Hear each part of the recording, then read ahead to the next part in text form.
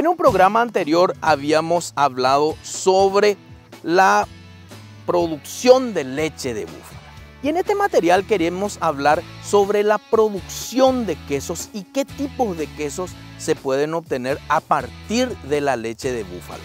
Y el ingeniero agrónomo Diego Brites, maestro quesero, nos hablará sobre el tema.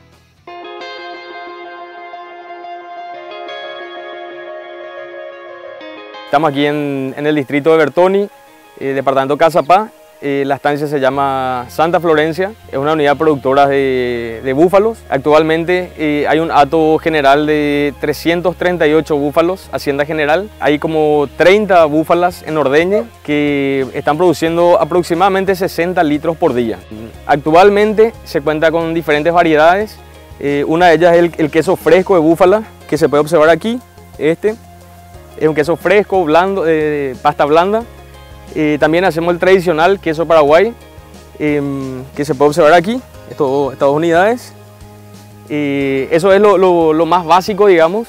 Entre los quesos más elaborados eh, se cuenta con el queso camembert, como se puede ver aquí, estas dos unidades. El queso que, lleva adicionado un cultivo lácteo que le da el color blanco, que le da la capa blanca. Otra variedad es que, que hacemos es el, quark, un queso fresco, se puede ver acá, un queso untar, eh, muy parecido al mascarpone. Eh, eso se, puede condimentar, se le puede agregar eh, cebollita, aceite, pimienta, etc. otro de los subproductos es la, manteca, la manteca una manteca deliciosa. Y yo diría que el producto estrella en cuanto, a, en cuanto a los quesos es la mozzarella, la mozzarella de búfala.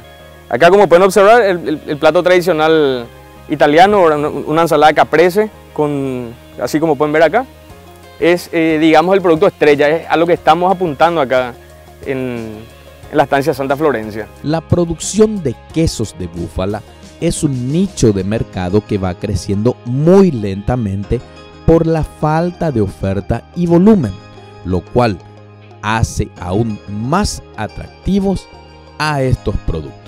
Yo en realidad no conozco, no conozco de quesos importados de búfala y a nivel nacional, a nivel local, particularmente conozco de dos personas que hacen en forma comercial y, tal vez la, gran mayoría para consumo propio en, las estancias o, en el campo. Si uno va a una góndola a buscar, difícilmente encuentre.